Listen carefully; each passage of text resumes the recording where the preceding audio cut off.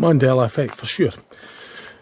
Right, uh, went for the second round uh, from Kenmore along the side of Loch Tay to uh,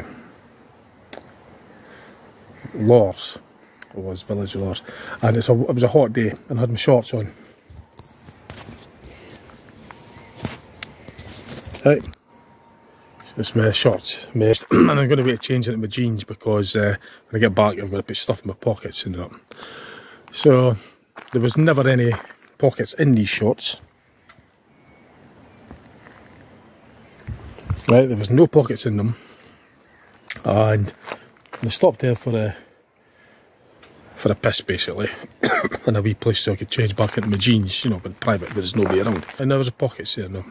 So I've got a pocket on these shorts when there were clearly no pockets before because the reason I actually was going to change into my jeans is when I get back home I'm going to have to be unloading the bike off the car and there'll be a lot of stuff getting done so I have to it's convenient to have my pocket especially when I've got my wallet and phone and everything. So as I say and suddenly there's pockets.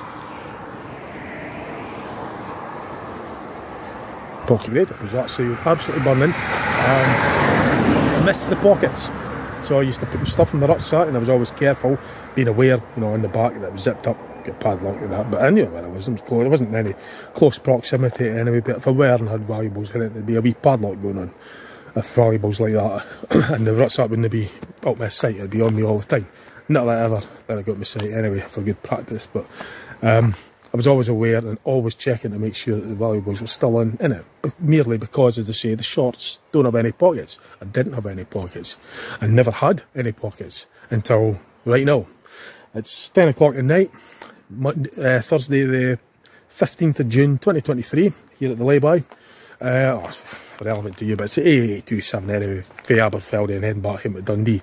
And it's on for just a tell you is that this is an experience that an experience and I just came across it here. I've mentioned Mandela effect before on my channel and if you're aware of the phenomena of the Mandela effect you'll know what I'm coming from, you'll know what I mean. If you're unaware of the Mandela effect phenomena, well you might have an open mind, I don't know who you are that's watching this, you might, um, you know, you might have an open mind um, and just put in my experience that happened today.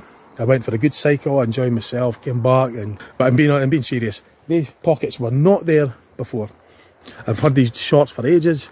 I've trained in them many, many times before. I put them on the day I used the rucksack, that's why I brought it. Well, I did it for other things as well, but I had put valuables in it. And every time I needed to get something done, I get the phone out, I had to go in the rucksack, open it up, take the phone out because there was no pockets. Anytime I needed to move the bike, put it to the side, do something, I had to put the stuff in the rucksack because I had no pockets. And suddenly, just there when I went. Anyway, that's enough. Right, hope you enjoyed that. Thanks for watching. Bye for now.